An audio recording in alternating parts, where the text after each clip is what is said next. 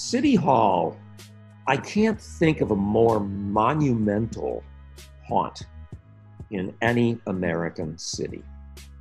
Now, great architecture and ghost stories tend to go together. It's in one of the classic historic styles. It's something that looks like it ought to be spooky.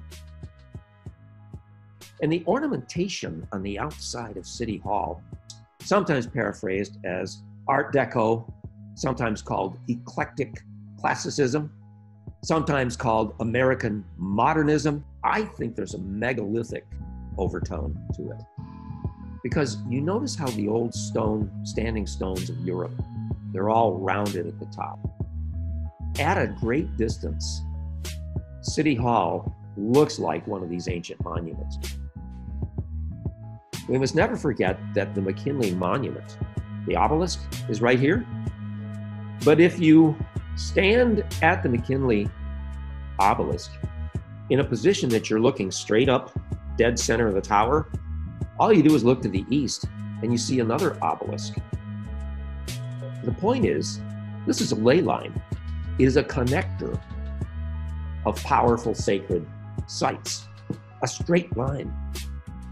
Whoever set this system up was, as the mystics would say, plugged in. As a suicide spot, City Hall reminds me of Niagara Falls. People who go over Niagara Falls, well, let's say in 200 years, there have been survivors. And they've often interviewed the survivors and said, Why did you decide to kill yourself? And about half of them say, I didn't.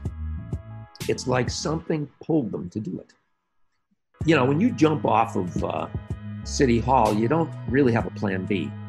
But it does make you wonder if any of them would have said the same thing. Like, I was just overwhelmed by the power.